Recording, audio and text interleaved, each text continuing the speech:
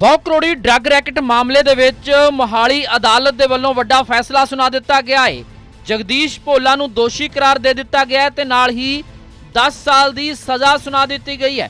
ਕੁੱਲ 17 ਮੁਲਜ਼ਮਾਂ ਨੂੰ ਦੋਸ਼ੀ ਕਰਾਰ ਦਿੱਤਾ ਗਿਆ ਹੈ ਤੇ 17 ਨੂੰ ਹੀ ਸਜ਼ਾ ਸੁਣਾਈ ਗਈ ਹੈ। ਹਾਲਾਂਕਿ ਇਸ ਮਾਮਲੇ ਦੇ ਵਿੱਚ ਕੁੱਲ 23 ਦੋਸ਼ੀ ਸਨ 23 ਮੁਲਜ਼ਮ ਸਨ, ਜਿਨ੍ਹਾਂ ਦੇ ਵਿੱਚੋਂ 4 ਦੀ ਪਹਿਲਾਂ ਹੀ ਮੌਤ ਹੋ ਚੁੱਕੀ ਹੈ। ਦੋ ਭਗੌੜੇ ਨੇ ਤੇ ਹੁਣ 17 ਮੁਲਜ਼ਮਾਂ ਨੂੰ ਦੋਸ਼ੀ ਕਰਾਰ ਦੇ ਕੇ ਅਦਾਲਤ ਦੇ ਵੱਲੋਂ ਸਜ਼ਾ ਸੁਣਾ ਦਿੱਤੀ ਗਈ ਹੈ। ਜਗਦੀਸ਼ ਭੋਲਾ ਨੂੰ 10 ਸਾਲ ਦੀ ਸਜ਼ਾ ਸੁਣਾਈ ਗਈ ਹੈ। ਜਗਦੀਸ਼ ਭੋਲਾ ਦੀ ਪਤਨੀ ਨੂੰ 3 ਸਾਲ ਦੀ ਸਜ਼ਾ ਸੁਣਾਈ ਗਈ ਹੈ। ਜਗਦੀਸ਼ ਭੋਲਾ ਦੇ ਸਹੁਰਾ ਦਲੀਪ ਸਿੰਘ ਨੂੰ ਵੀ 3 ਸਾਲ ਦੀ ਸਜ਼ਾ ਸੁਣਾਈ ਗਈ ਹੈ। ਤਾਂ ਕੇਸ ਦੇ ਵਿੱਚ ਕੁੱਲ 23 ਮੁਲਜ਼ਮ ਸਨ। ਚਾਰ ਦੀ ਪਹਿਲਾਂ ਹੀ ਮੌਤ ਹੋ ਚੁੱਕੀ ਹੈ। ਦੋ ਹਾਲੇ ਵੀ ਭਗੌੜੇ ਨੇ। ਤੇ ਜਿਨ੍ਹਾਂ ਨੂੰ ਹੋਰਾਂ ਨੂੰ ਸਜ਼ਾ ਸੁਣਾਈ ਗਈ ਹੈ, ਉਹਨਾਂ ਦੇ ਵਿੱਚ ਮਨਪ੍ਰੀਤ, ਸੁਖਰਾਜ, ਸੁਖਜੀਤ ਅਤੇ ਮਨਿੰਦਰ ਨੂੰ 10-10 ਸਾਲ ਦੀ ਸਜ਼ਾ, ਦਵਿੰਦਰ ਹੈਪੀ ਨੂੰ ਵੀ 10 ਸਾਲ ਦੀ ਸਜ਼ਾ ਸੁਣਾਈ ਗਈ ਹੈ। ਸੰਦੀਪ ਕੌਰ, ਜਗਮਿੰਦਰ ਕੌਰ, ਗੁਰਮੀਤ ਕੌਰ ਤੇ ਅਮਰਜੀਤ ਨੂੰ 3-3 ਸਾਲ ਦੀ ਅਤੇ ਗੁਰਪ੍ਰੀਤ ਸਿੰਘ ਨੂੰ 5 ਸਾਲ ਦੀ ਸਜ਼ਾ ਸੁਣਾਈ ਗਈ ਹੈ। ਇਸ ਤੋਂ ਬਿਨਾਂ ਸੁਭਾਸ਼ ਬਜਾਜ, ਸੁਨੀਲ ਬਜਾਜ, ਅੰਕੁਰ ਬਜਾਜ ਨੂੰ 5-5 ਸਾਲ ਦੀ ਸਜ਼ਾ ਸੁਣਾਈ ਗਈ ਹੈ। ਕਰੀਬ 6000 ਕਰੋੜ ਦਾ ਇਹ ਡਰੱਗ ਰੈਕਟ ਸਾਲ 2013 ਦੇ ਵਿੱਚ ਸਾਹਮਣੇ ਆਇਆ ਸੀ, ਜਦੋਂ ਪੰਜਾਬ ਪੁਲਿਸ ਦਾ ਬਰਖਾਸਤ ਡੀਐਸਪੀ ਜਗਦੀਸ਼ ਭੋਲਾ ਨਸ਼ੇ ਦੇ ਸਮੇਤ ਗ੍ਰਿਫਤਾਰ ਕਰ ਲਿਆ ਗਿਆ ਸੀ ਤੇ ਉਸਨੇ ਕਈ ਸਿਆਸੀ ਆਗੂਆਂ ਦੇ ਨਾਂ ਤੱਕ ਲੈ ਦਿੱਤੇ ਸੀ।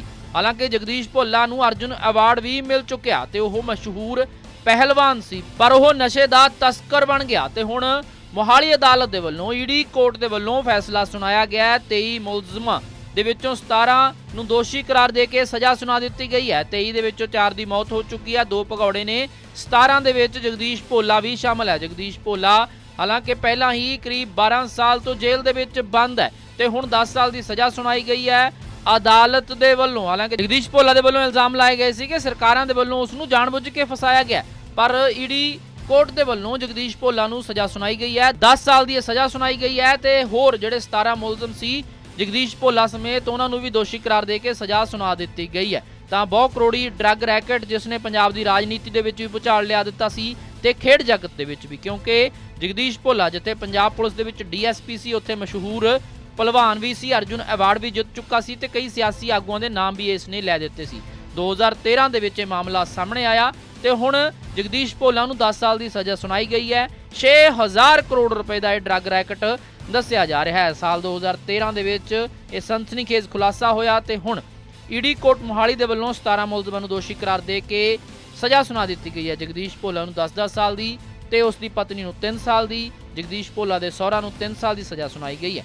ਕੇਸ ਦੇ ਵਿੱਚ 23 ਮੁਲਜ਼ਮ 4 ਦੀ ਪਹਿਲਾਂ ਮੌਤ ਹੋ ਚੁੱਕੀ ਹੈ ਦੋ ਭਗੌੜੇ ਨੇ। ਇਸ ਤੋਂ ਬਿਨਾਂ ਮਨਪ੍ਰੀਤ ਸੁਖਰਾਜ, ਸੁਖਜੀਤ ਮਨਿੰਦਰ ਨੂੰ 10-10 ਸਾਲ ਦੀ, ਦਵਿੰਦਰ ਹੈਪੀ ਨੂੰ 10 ਸਾਲ ਦੀ, ਸੰਦੀਪ ਕੌਰ, ਜਗਮਿੰਦਰ ਕੌਰ, ਗੁਰਮੀਤ ਕੌਰ ਤੇ ਅਮਰਜੀਤ ਨੂੰ 3-3 ਸਾਲ ਦੀ ਸਜ਼ਾ ਸੁਣਾਈ ਗਈ ਹੈ। ਗੁਰਪ੍ਰੀਤ ਸਿੰਘ ਨੂੰ 5 ਸਾਲ ਦੀ, ਸੁਭਾਸ਼ ਬਜਾਜ, ਸੁਨੀਲ ਬਜਾਜ ਤੇ ਅੰਕੁਰ ਬਜਾਜ ਨੂੰ ਵੀ 5-5 ਸਾਲ ਦੀ ਸਜ਼ਾ ਸੁਣਾਈ ਗਈ ਹੈ। ਤਾਂ ਬਹੁ ਕਰੋੜੀ ਡਰੱਗ ਰੈਕਟ ਮਾਮਲੇ ਦੇ ਵਿੱਚ ਇਹ ਫੈਸਲਾ ਅਦਾਲਤ ਦੇ ਵੱਲੋਂ ਸੁਣਾ ਦਿੱਤਾ ਗਿਆ ਹੈ।